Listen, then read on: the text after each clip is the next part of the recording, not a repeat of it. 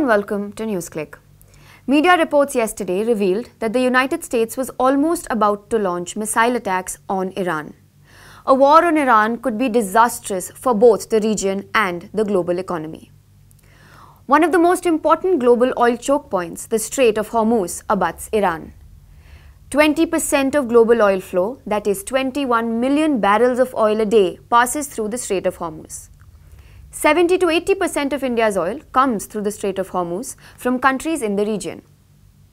Iran can close the Strait of Hormuz anytime it wants and has also said that if it cannot export oil through the Strait of Hormuz, nobody else can.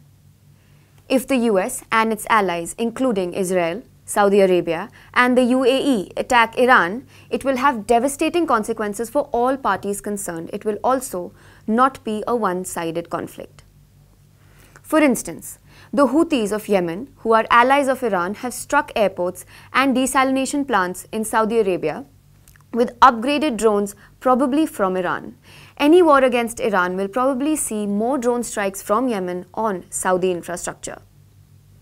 If Israel joins the US, Hezbollah may also be drawn into the war. It is estimated that Hezbollah has more than 200,000 rockets which can destroy much of Israel's infrastructure. Such a war could also cause oil prices to soar from 50 to $60 per barrel to around $250 and lead to a major global recession. In the coming days, NewsClick will be closely monitoring the situation. Stay tuned for further reports. Thank you for watching.